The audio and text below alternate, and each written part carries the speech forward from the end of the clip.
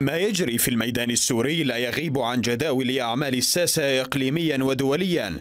ففي الحسكة وبعد أيام من المعارك يقال إن النظام من جهة وحزب الاتحاد الديمقراطي من جهة أخرى توصل إلى اتفاق هدنة شاملة في المدينة بعد وساطة روسية.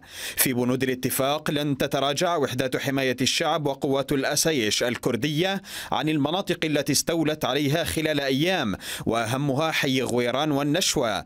وسيبقى النظام محاصرا في مربعه الأمني بعد أن تقلص نفوذه في الحسكة إلى نحو عشرة بالمئة فقط ليصبح وجوده رمزيا لا أكثر. المشهد العسكري في الحسكة تزامن وما يزال مع حراك إقليمي ودولي تشكل تركيا نواته الرئيسة. يوم الثلاثاء حط في ديارها رئيس إقليم كردستان العراق مسعود بارزاني وهو المعروف بمواقفه المخالفة لحزب العمال الكردستاني وجناحه في سوريا أي حزب الاتحاد الديمقراطي. قد تكون هذه المواقف هي نقطة الالتقاء الرئيسة بين كردستان العراق والدولة التركية ولعل الشمال السوري ومحاولة حزب الاتحاد الديمقراطي الديمقراطي إقامة دويلته هي أحد أسباب الزيارة خصوصا أن بارزاني يستعد بعد أيام أيضا لزيارة إيران التي تشاطر الأتراك موقفهم في رفض تقسيم سوريا على أساس قومي. عدا عن ذلك فكل الزيارات المعلنة والسرية بين تركيا وإيران في الفترة الماضية ما زالت غامضة من ناحية المسائل الأخرى في الملف السوري. لكن رئيس الوزراء التركي بن علي يلدريم دعا واشنطن وموسكو وطهران وبعض دول الخليج الخليج لفتح صفحة جديدة حول سوريا وإيجاد مقاربة لحل الأزمة السورية بأسرع وقت.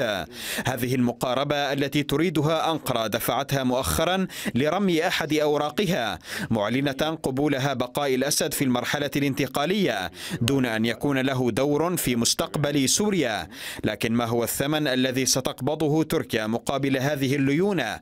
وهل نشاطها الدبلوماسي المتسارع حول سوريا ينم عن تحركات تجري في الخفاء بينها وبين جهات إقليمية ودولية. يجعل من الستة أشهر المقبلة تحمل تطورات جميلة في سوريا بحسب ما تنبأ رئيس الوزراء التركي بن علي يلدريم لا توحي التحركات الأمريكية الروسية بنية البلدين العمل على المسار السياسي.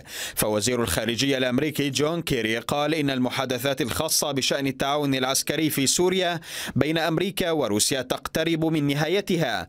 ويرى مراقبون أن أبواب الحل السياسي لن تفتح من جديد فيما تبقى من ولاية أوباما التي تنتهي بعد نحو شهرين.